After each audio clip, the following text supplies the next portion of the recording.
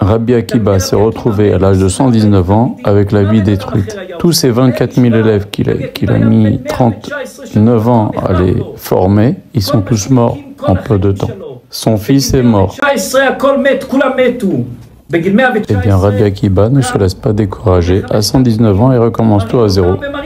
Il prend cinq élèves, dont Rabbi Shimon Bar Yochai, Rabbi Meir, Rabbi Uda Barilai, et il les forme. Et grâce à ça, la Torah elle a été perpétuée. Car Rabbi Akiba, c'est le symbole, le pilier de la Torah orale.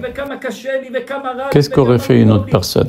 Elle aurait dit Oh là là là là, quel malheur, quelle catastrophe. C'est la faute des uns, c'est de la faute des autres. Je suis foutu, c'est terminé. Au moins que ça, n'importe qui aurait, dit, aurait parlé comme ça. Eh bien, Rabbi Akiva, pas du tout. Il reprend les choses en main il reforme les élèves. Le Rabbi Shimon Bar Yochai, Rabbi Meir Balanez. Rabbi Shimon Bar Yochai, c'est tous les secrets de la Torah. Rabbi Akiva, c'est le pilier de la Torah orale. La Torah que l'on a aujourd'hui, elle a commencé par la destruction des 24 000 élèves de Rabbi Akiva. Ça a mal commencé.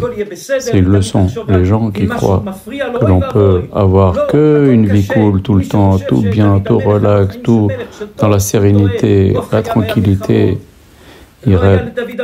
Regardez David Amelech. Presque tous les six mois, il partait sur, euh, en guerre. Plein de fois, il a failli mourir.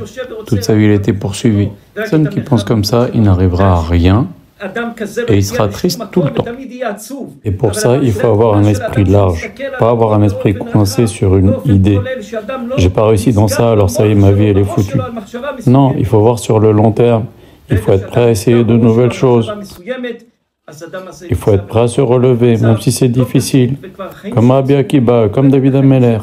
Quoi qu'il arrive, il faut jamais baisser les bras et il faut se relever et essayer d'autres choses. Il faut avoir l'esprit ouvert.